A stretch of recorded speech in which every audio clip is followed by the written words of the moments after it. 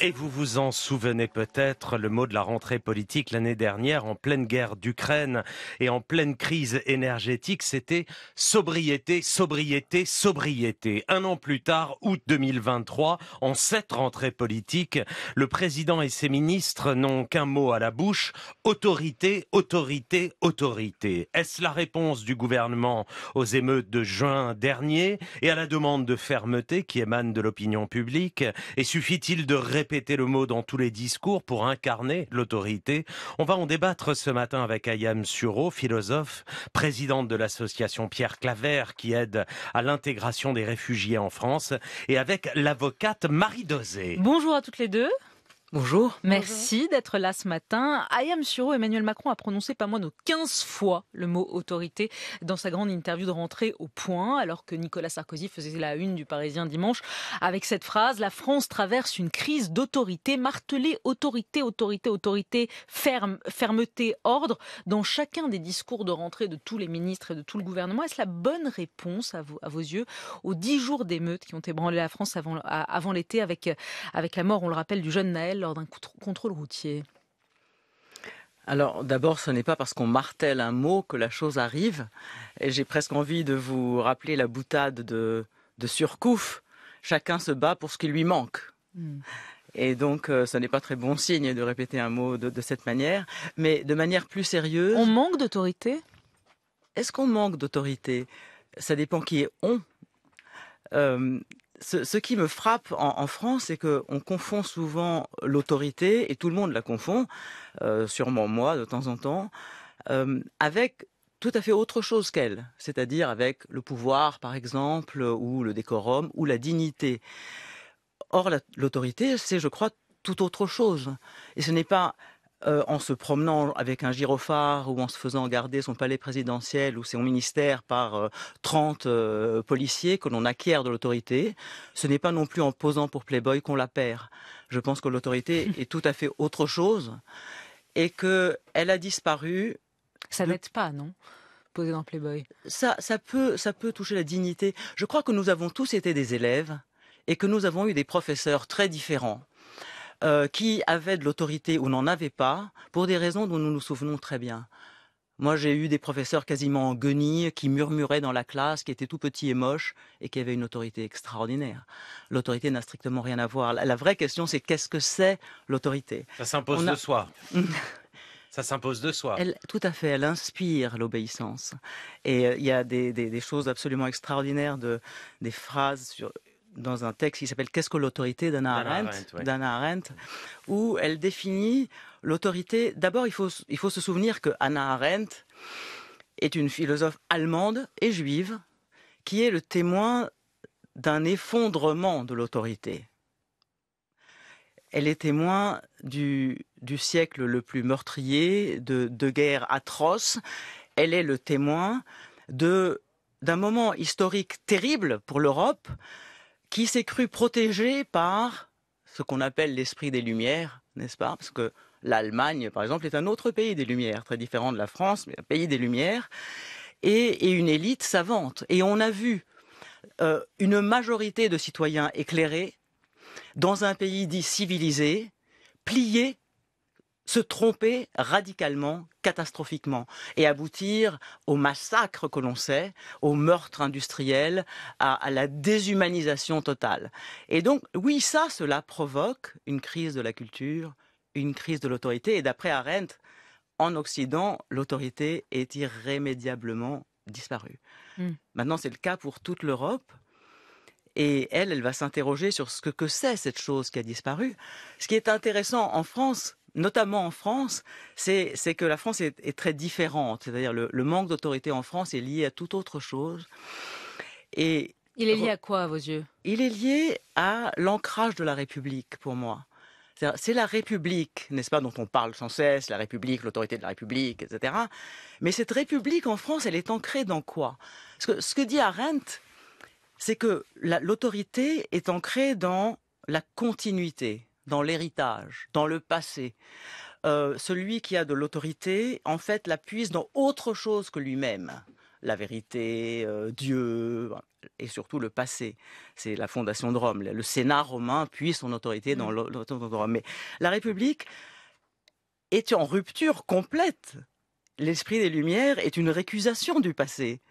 Donc il n'y a pas de continuité en France et au contraire une rupture. Et l'autre chose que je voulais dire avant, pour rappeler à Rennes, c'est que l'autorité est inégalitaire n'est-ce pas? Celui qui a de l'autorité l'impose, n'est-ce pas, sur celui qui n'en a pas.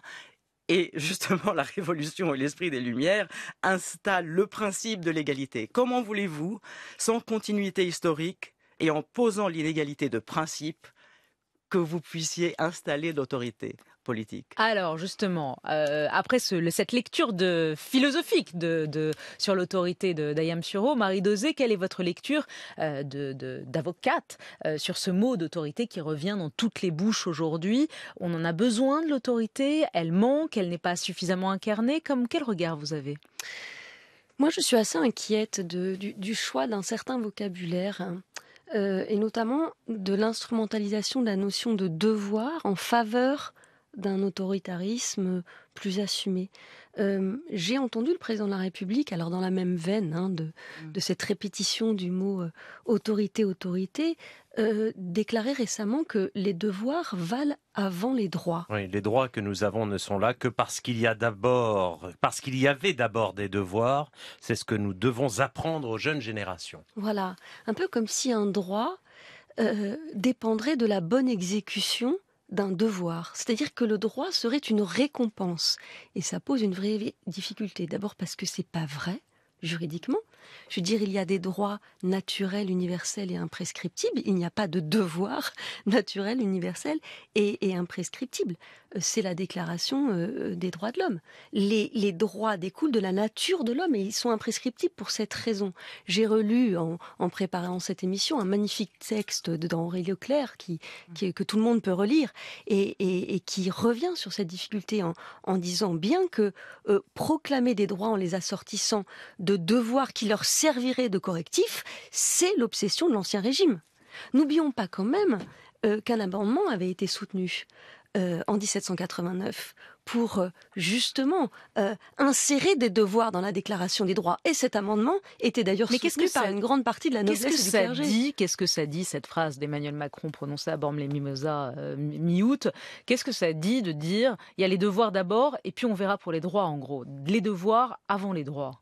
Bah, ça dit quelque chose d'inquiétant de la Pourquoi ça vous inquiète? Mais ça m'inquiète parce que le président de la République est garant de la Constitution et que la Déclaration des droits de l'homme fait partie intégrante de la Constitution et que juridiquement c'est faux et que avoir peur d'affirmer que les devoirs découlent des droits, qu'il y a d'abord des droits et que c'est pour ça qu'il y a des devoirs, euh, je trouve ça inquiétant. Cette peur-là m'inquiète. c'est une réponse à l'opinion publique qui demande plus de fermeté, qui demande plus d'autorité, notamment après les émeutes. On a vu comment l'opinion publique a basculé en quelques jours. Mais justement, il y a tant de façons de répondre à l'opinion publique et c'est dommage que pour l'instant, on ne lui réponde que sur le même registre, je crois moi, qu'elle attend aussi peut-être autre chose, en tout cas qu'on pourrait lui proposer autre chose. Sur les droits et les devoirs, Ayam Suro moi, je, pense que ce que Marie Dosé dit est très juste. Les droits en France, et notamment ces droits sacrés, inaliénables, euh, sont précisément ceux qui confèrent de l'autorité à la République. Alors, ce sont des droits qui découlent de la nature de l'homme. Vous vous rendez compte comme c'est grand? Ils découlent de la nature de l'homme. C'est-à-dire que les Français vont devenir les défenseurs, les dépositaires, les gardiens de droits universels. Euh, c'est absolument immense et c'est très fragile parce que ce sont des principes abstraits. Et c'est toute la beauté, c'est-à-dire, ça, moi, ce qui m'inquiète, euh, ce n'est pas tant qu'il y ait une crise de l'autorité, parce que je trouve cette crise de l'autorité comment dire, tout à l'honneur de la France. C'est presque le surnom de la France, la crise de l'autorité. Hum. Ce qui m'inquiète, c'est en effet, comme Marie, la demande d'autorité qui n'est pas une demande d'autorité, c'est une demande de répression. Pourquoi? Pourquoi ça vous inquiète? Parce que ça veut dire que les Français ne se souviennent pas, euh, ne se souviennent pas de ce qui fait de la France la France. Et euh, ce n'est vraiment pas ce que les autres qui la regardent, euh, justement dans, la défense de ces principes universels qui, qui, concernent tous les hommes, qui ne concernent pas que les Français, sont assez déçus, en fait, ne comprennent pas. Mais en France, cette, demande récurrente d'autoritarisme, et non pas, euh, Marie Dosé a tout à fait raison de séparer autorité et autoritarisme, mmh. c'est pas la même chose. Je sais qu'hier, vous avez eu catastrophe et catastrophisme, vous aurez un, isme par jour. Mais qu'est-ce que c'est que l'autoritarisme? Hier, c'était Pascal Bruckner, Claire Nourvian, effectivement. Et donc, l'autoritarisme, c'est la démonstration puissante d'une carence de l'autorité. Hmm. C'est une maladie. Mais alors ça aussi, ça vous inquiète, Marie Dosé, le, le, le, le, besoin de l'opinion Et quand on lit les enquêtes d'opinion, c'est très clair qu'il y a un besoin, alors vous appelez ça de répression, euh, de fermeté en tout cas, d'ordre, de... On le comprend. Mais oh, pardon. Non, non, non. Euh, ce, qui m'inquiète encore plus, c'est la façon dont, dont, dont le pouvoir s'empare euh, de, de, ce, de ce réflexe. Bah, il y répond. il y euh, répond. non, il n'y répond pas. Il va plus loin que ça. Il s'en empare et parfois même il va au-delà. J'ai été très choquée, je vais vous dire, par un hashtag euh, donc devoir et liberté. derrière ce hashtag, devoir une préfecture. C'est un hashtag. Voilà. C'est un hashtag qui a fait polémique cet été. Un hashtag sur Twitter ou parce qu'il a été émis par le préfet du Val d'Oise. Le préfet du Val d'Oise, la préfecture, c'est pardon, c'est l'incarnation de l'autorité qui va jusqu'à scénariser, mettre en scène, se réjouir, se vanter de l'expulsion de plusieurs membres d'une famille de leur logement parce que un des membres de cette famille aurait commis une infraction dans le cadre des émeutes. D'abord, c'est faux, et là, c'est, vous voyez, c'est pour ça que je dis que ça va très loin, euh, jusqu'au mensonge, puisque ce n'est pas la préfecture qui expulse, c'est un tribunal qui n'expulse pas pour cette raison, et que la procédure euh, judiciaire a nécessairement duré des mois et, et précédé donc les émeutes.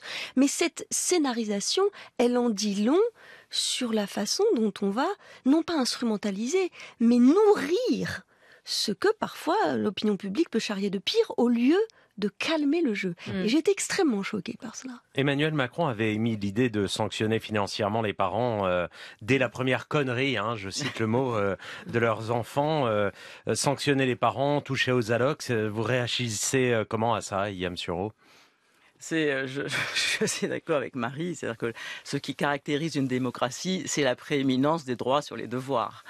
Et je, n'ai pas, j'avais, j'ai noté.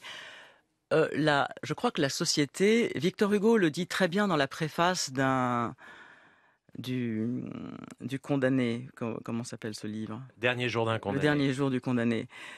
Il parle de la vengeance. Il dit c'est trop petit. D'accord? Là, là, ce dont on parle, c'est de la vengeance. Euh, là, il parlait de la peine de mort. Il dit que la punition est trop grande pour la société. Elle appartient à Dieu et que la vengeance est trop petite, elle appartient à l'individu. Et, là, quand, vous fonctionnez de cette manière, en fait, vous rabaissez euh, le droit à, la vengeance, et je trouve ça assez idiot. Je trouve On peut pas, ça peut pas s'entendre, pardon, parce que comme vous êtes euh, mm. assez d'accord euh, sur ce que vous dites, je suis obligée d'apporter un peu de contradiction à ce que vous dites.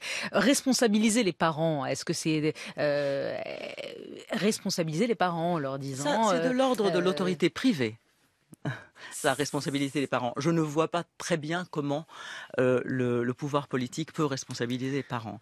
Et puis, et puis il y a quelque chose qui. Bah, en l'occurrence, s'ils coupent les allocs, ça peut les responsabiliser. C'est brutal, mais ça peut avoir un effet. Donc de l'efficacité. Donc vous êtes. C'est ce que dit d'ailleurs dans, l'entretien de dans l'entretien du point auquel vous faites référence, le président parle euh, beaucoup d'une crise de l'efficacité. Mm. Et en fait, c'est ça qui est un petit peu inquiétant. Parce que la demande d'autoritarisme de la part de la société, Or, or, la France est quand même une démocratie, d'accord? Donc, si on offre de l'autoritarisme, c'est qu'on demande de l'autoritarisme. C'est ce que Arendt appelle la tyrannie de la majorité, la pire tyrannie. Mais on la demande pour une raison, c'est-à-dire que les citoyens peuvent euh, se sentir euh, malheureux, euh, manquer d'opportunités, sentir, de l'inégalité, de l'injustice, et sentir aussi que tout irait mieux si il n'y avait pas de médiation. C'est-à-dire que le droit est gênant, l'Europe c'est gênant, le droit international nous emmerde, les droits de l'homme aussi, et ça serait beaucoup plus efficace si on accélérait les procédures, si le président décidait de tout, etc. Ça c'est une demande naturelle à laquelle doivent s'opposer les institutions les françaises. Marie d'un mot, et puis ensuite, comme il nous reste euh, deux minutes, je voudrais vous faire réagir quand même sur les abayas, qui est le retour de l'ordre à l'école. Moi, pour y être régulièrement confronté, je pense que, que, ce type de sanction, c'est-à-dire euh, euh, cette contamination. Hein, euh, un membre d'une famille a commis une infraction et punissons pour responsabiliser les uns et les autres, c'est catastrophique. Mais vraiment, je, je sais la petite sœur ou le petit frère, je les connais, qui subissent les conséquences de celui qui a commis quelque chose. Je peux vous assurer que leur rapport à l'autorité s'en trouve changé, parce que c'est une injustice, et que ces familles, et je ne suis pas en train de les victimiser, mais ces familles, la plupart du temps, sont dans l'impuissance, pas dans l'indifférence, dans l'impuissance, parce que l'environnement auquel elles se confrontent, eh bien, est beaucoup trop fort pour la cellule familiale. Donc, non, véritablement, si on parle d'efficacité, ce ne sont pas des mesures efficaces, bien au contraire. Question rapide donc sur ce sujet d'actualité. Gabriel Attal qui annonce l'interdiction de l'abaya dans les établissements scolaires au nom du principe de laïcité. La République est testée. Nous devons faire bloc, a dit le ministre. Euh, ça vous semblait urgent de le décider, Ayam sur, sur Est-ce nécessaire ou est-ce euh, une manière de cliver en cette rentrée, comme on dit il y a deux questions. D'abord, euh, est-ce que c'est est-ce que c'est la place du pouvoir politique d'intervenir au sein de l'école? Je suis encore une fois un partisan d'Arendt, c'est-à-dire non. Je trouve que l'école est un lieu, euh, en fait, privé, dans le sens où il est privé de politique. Et il doit être tenu le plus possible à l'écart de l'endoctrinement politique. Donc vous étiez opposé à la loi, euh, la loi sur les signes religieux euh, Non. L'interdiction des signes religieux Les signes religieux ne concernent pas l'école, toute, toute la société française et l'espace public. Maintenant, il, il, peut revenir, et il revient d'ailleurs, et toutes les lois existent, on peut interroger Marie Dosé là-dessus, pour, pour contenir ce type de choses. Et je voudrais quand même dire quelque chose, c'est que l'abaya et le camis ne sont pas des signes religieux, c'est du folklore c'est du folklore. Ça me fait le même effet que des gens qui auront trop lu la mélodie du bonheur euh, arrivent à l'école en culotte de peau avec des chaussettes brodées d'Edelweiss. Le proviseur dirait, ça n'est pas un carnaval ici. Pour vous, c'est pas un signe religieux. Non. Mhm. Pour vous, c'est un signe religieux. Marie Dosé, pour non, mais alors, euh, moi, je, vous vouliez de la nuance. Je vais apporter un petit peu de nuance à ce qui vient d'être dit ah, pour conclure. Non, mais voilà, j'ai bien entendu que le Conseil français du culte musulman considérait que ce n'était pas un vêtement religieux, mais vous savez, le, vêtement traditionnel ou euh, culturel parfois frôle le et on, on sait les difficultés qui se posent dans les établissements scolaires. Il y a eu euh, euh, des signalements de plus en plus nombreux d'atteinte à la laïcité en milieu scolaire. Alors certes, ça concerne seulement 150 établissements sur des milliers, mais il fallait apporter une réponse. En droit, euh, j'attends de voir comment elle va se décliner parce que ça, pose une vraie difficulté. Mais moi, je conseille à tous les éditeurs euh, d'écouter le euh, la chronique de Yael Goz ce matin à votre antenne, qui vraiment pose le, le vrai problème. Comment les lycéens vivent cette interdiction on sait à quel point les lycéens et les adolescents ont un rapport à la laïcité beaucoup plus, euh, en tout cas très différent des générations mmh. euh, euh, suivantes. Et il va falloir aussi surtout expliquer aux uns et aux autres ce que veut dire cette, cette interdiction, quel est le fait religieux, quelle est la laïcité, parce que véritablement c'est ça la vraie difficulté, la réception chez les adolescents. Yael Gauze à réécouter en podcast sur l'application France Inter et celle de, de Radio France. Merci, à toutes les deux. Merci infiniment Marie Dosé, Ayam Suro d'avoir été à notre micro ce matin.